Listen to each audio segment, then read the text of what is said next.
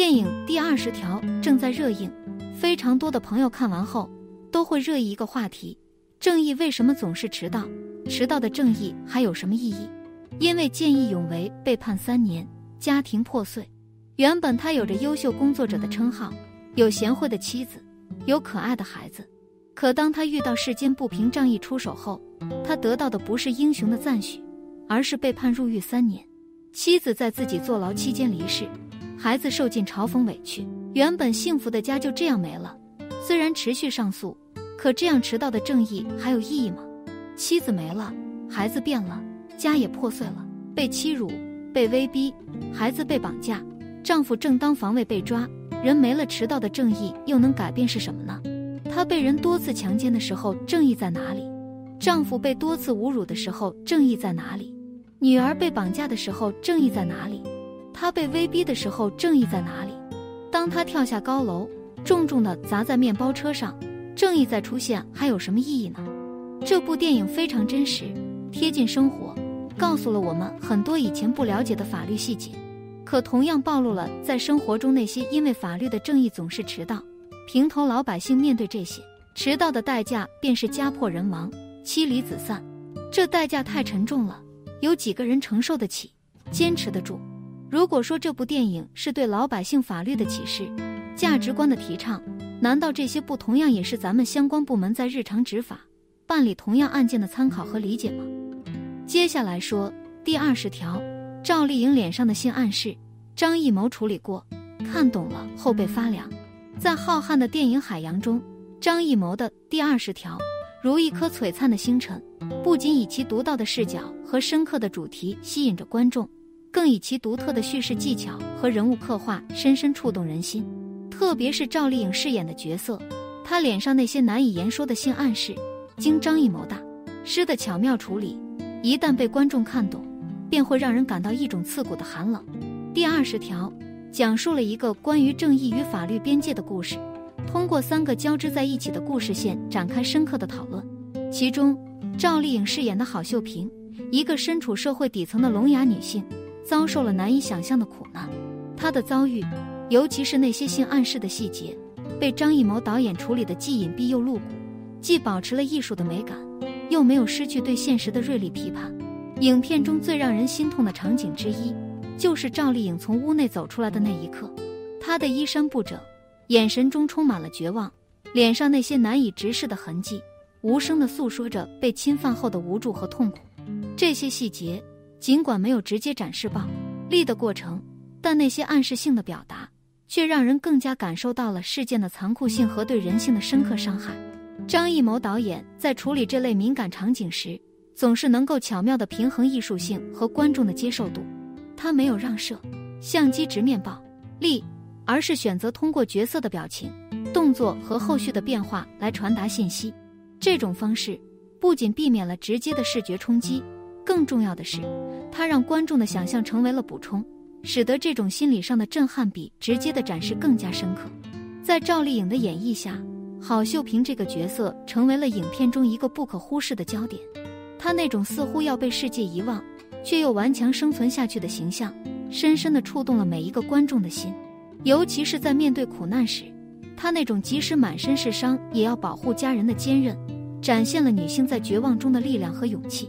影片之所以能够引起强烈的情绪共鸣，很大程度上是因为它没有回避现实中的痛点。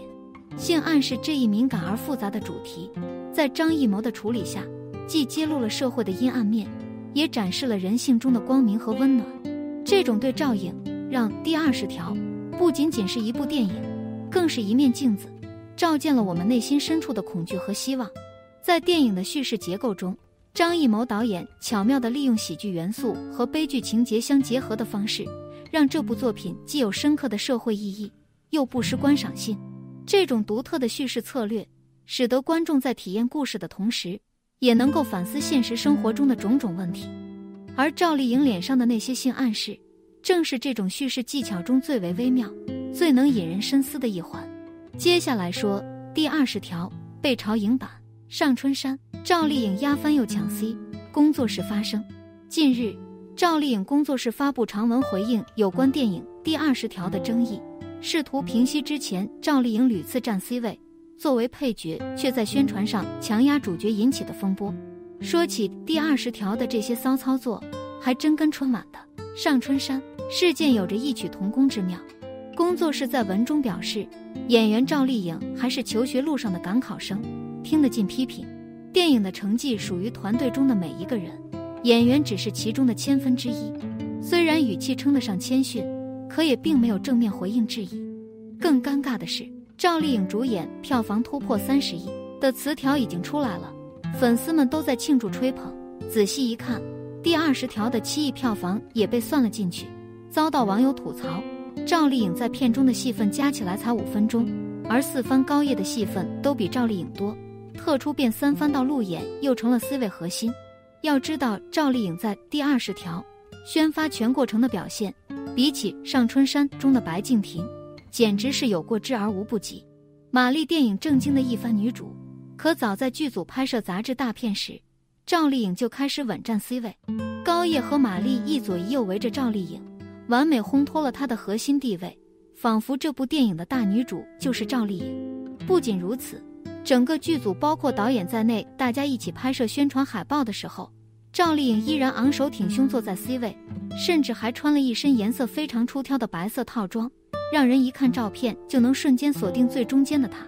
就算是现场拍摄个趣味照，赵丽颖也是中间的角色。就是说，这 C 位稳固的程度远比白敬亭多站一会儿山头强得多。其实出现这样的现象也不难理解。